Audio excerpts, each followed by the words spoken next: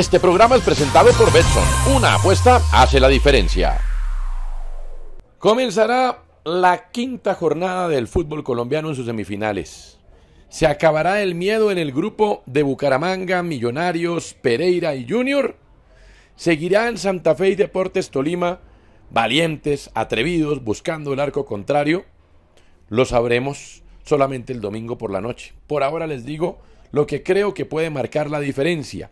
En el partido entre Pereira y Millonarios, Millonarios va a ir a jugar como equipo chico, otra vez con picapiedra seguramente, a buscar poco y a esperar en alguna jugadilla por ahí aislada la victoria que le dé vida todavía. Pero Pereira sabe que incluso ganando y con un empate de Bucaramanga y Junior, que no es nada imposible, puede ya clasificar a la final. Creo que Millonarios, con todo y todo, tiene sus opciones. Lo cierto es que va a ser un partido de un gol a lo sumo. No van a buscarse demasiado, va a haber mucho miedo. En el partido entre Junior y Bucaramanga, lo mismo. Bucaramanga sabe cerrarse atrás, sabe parquear el bus a lo ancho del campo, como dicen los futbolistas. Y en ese escenario, Junior no ha sido buen local.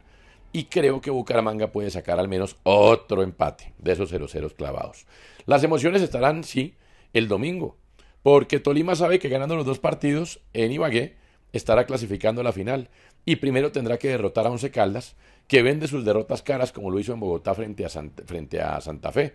Pero creo que Tolima tiene argumentos para ganarlo. Ha marcado seis goles en los últimos dos partidos, tiene buen poderío ofensivo y ha mejorado en defensa. Debería ganar por lo menos dos goles.